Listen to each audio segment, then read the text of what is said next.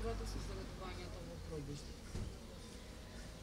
Знаете како да ви кажам, значи загадувањето секаде на глобално ниво, на ниво на Македонија, меѓутоа секако и во пробишти има загадување од секаков вид. Значи може да се каже дека имаме загадување од аерозагадување, исто така загадување во однос на почви и загадување во однос на вода.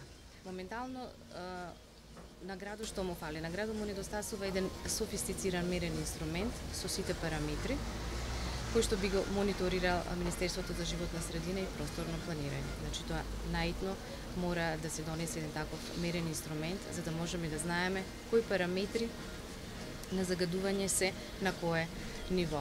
Меѓутоа во овој момент ние се соочуваме а, со еден вид на загадување кое што во иднина треба да се планира, тоа е имаме значи тешка зона на тешка индустрија, на половина километар, не цел километар од градот, каде што веќе имаме изградба на една челичарница, а веќе се набуваат и други а, проекти од значи тоа е од тешката индустрија, кои што на вистина ќе придонесат за многу поголемо загадување во пробишти. А знаеме дека имаме загадување уште од минатото, сегашноста и во иднината.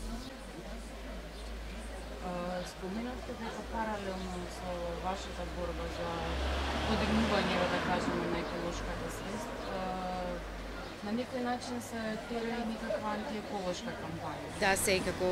Мислам дека тоа со жалење можам да го потенцирам. Секаде гледаме да се подигне свеста на граѓаните на високо ниво во однос на екологијата, меѓутоа во нашиот град се случува нешто сосема обратно.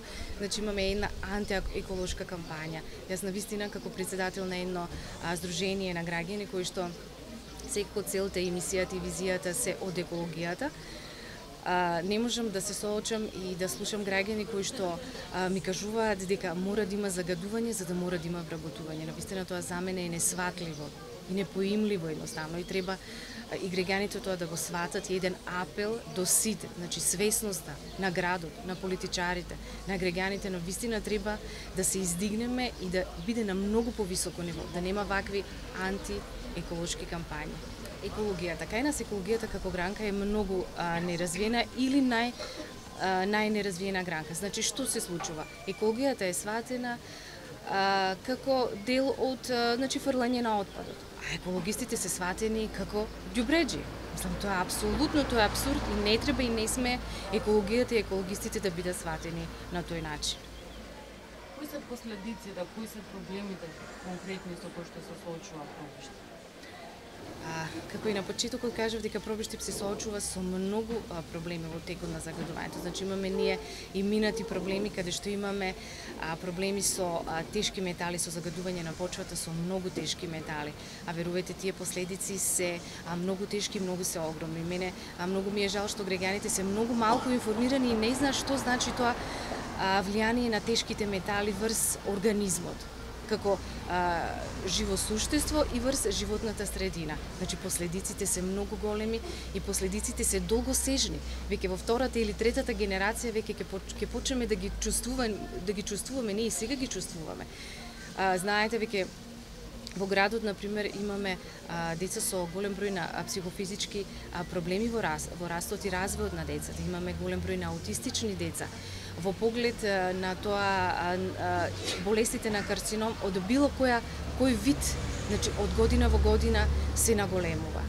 Во последниве години морам да кажам на жалост дека имаме младата популација, значи смртноста доаѓа од мозачните удари, срцевите удари, кои што се еден од многу ризик факторите на еколошкото влијание, односно на загадувањето. Мислам дека граѓаните треба веќе да станат свесни за тоа.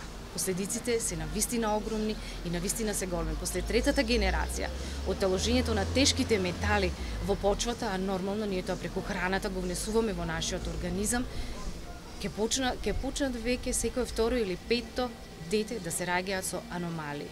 И тоа морам да кажам дека и локалната власт треба да се земе за обврска, да каже на граѓаните, да им, да им посочи со што се судрувале во минатото, со што се содруваат сега и со што ќе се содруваат во иднината.